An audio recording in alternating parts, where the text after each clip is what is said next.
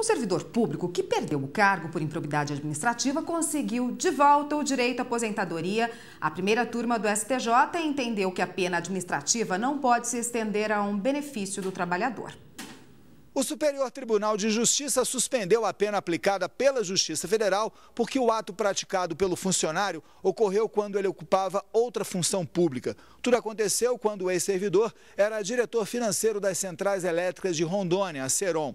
Ele foi condenado a devolver pouco mais de 23 mil reais aos cofres públicos e perdeu a função pública. Também foi determinada a cassação da aposentadoria no cargo de origem, que era de procurador jurídico da Assembleia Legislativa do Estado de Rondônia. Por isso, ele recorreu ao STJ. O relator do caso aqui no tribunal, desembargador convocado Olindo Menezes, destacou que a lei que cuida das punições aos servidores públicos que cometem improbidade administrativa não prevê anulação da aposentadoria. O desembargador lembrou que a lei não pode sofrer interpretação diferente ou que se aplique penas maiores do que ela determina.